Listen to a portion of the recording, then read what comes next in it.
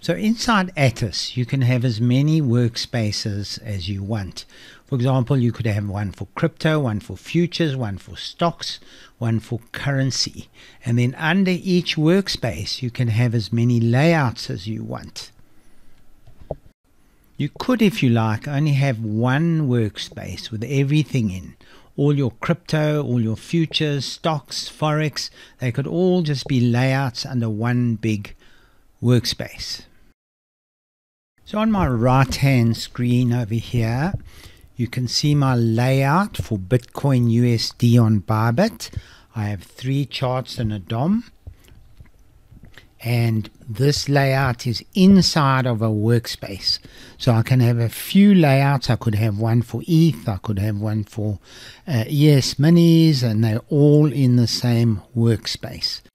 So let's go across to my right screen under settings, double click on workspace and you can see which workspaces I have. And that highlighted workspace is the one that's active at the moment.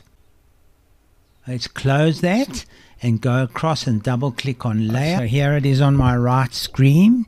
I have these four layouts.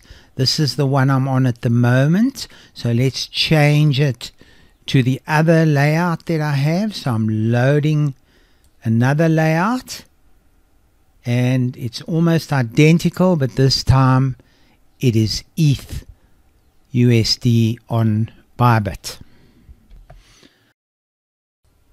Let's go back to my left screen and let's create a new workspace. So double click on workspaces and click add and let's call that a new workspace. So as soon as we load this, all my charts on my other screen are going to disappear because um, we don't have any layouts loaded. And under that workspace, let's go across and create two layouts. So double click on layouts under settings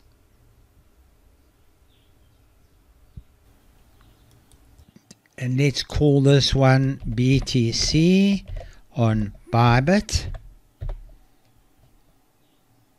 Okay, and let's add another one and let's call that ETH on Bybit. Okay, so now we have one workspace with two um, layouts. So let's load that uh, let's load the BTC layout and let's start adding charts. So on the home tab, click on the little down arrow and let's add a sessions TPO chart for Bitcoin USD on the Bybit exchange. Let's add another chart.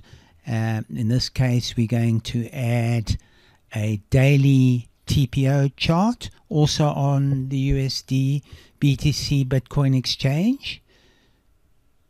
And let's add one more chart. Let's add an order flow chart on the same exchange.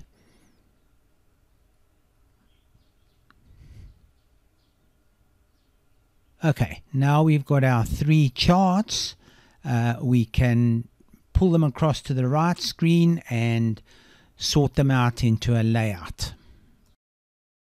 As you pull the chart across to another one, a little blue icon appears and you just drop it into the square above, below, left or right.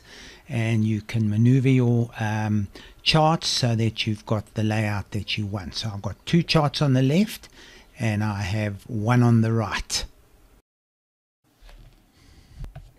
So I've pulled it over to my right hand screen. I'm going to go and now I'm going to go back to the left hand screen and I'm going to pull up a smart DOM for the BTC USD and I'm going to drag that across to the right screen. Across to here. I'm going to resize the window. about like that. And then I'm going to resize this window. Until I have my layout as I want it. Okay, so there's my layout. I've got my three charts that I wanted, and I have got uh, the DOM. So let's go across to the left screen again, and we're going to change to the other layout and do a similar thing. Uh, let's go back here and let's set up the ETH Bybit layout. So let's load that you see everything disappears because we have uh, haven't saved anything there. So now back in the left hand screen, uh, we're in the ETH layout. So let's add some charts. So the first one we're going to add is a sessions TPO. This time we're going to add it for ETH. And we're going to add another chart. We're going to add a daily TPO also for ETH. And the last chart we're going to add is an order flow chart. So let's add that and we will choose ETH USD again. So now we have our three charts. While we're here, let's load a smart DOM and then we and also for ETH and then we've got all the elements that we need. So first I'm going to pull the Smart DOM across to my right screen and I'm going to resize it to what I think is going to be convenient. That's more or less the size. Back to the left hand screen and let's pull, let's put these together.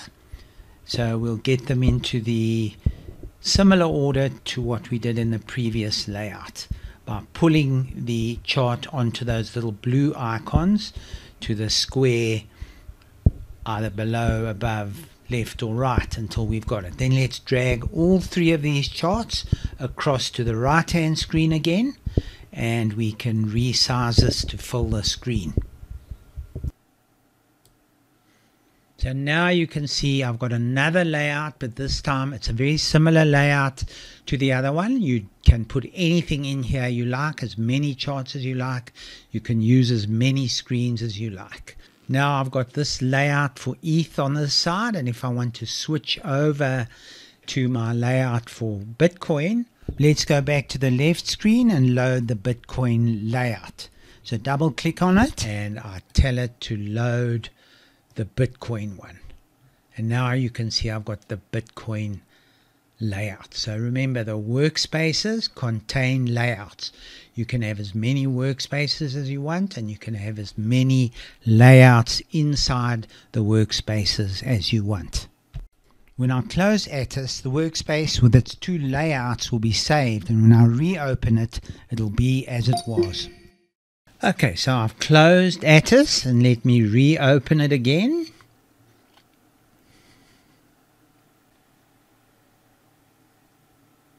There we remember we made that new workspace. If I wanted to open another workspace, I could open any one of those. But let's open the new one just to make sure that everything's there.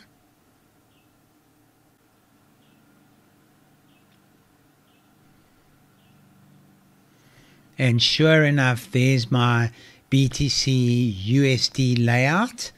So let's go back to the left screen and check that the ETH layout is still there. And I'll load the ETH Bybit layout. You can have as many layouts with different, whatever you've got a feed for. If you've got for ES Minis, the New York Stock Exchange stocks, you can have as many layouts and workspaces as you like.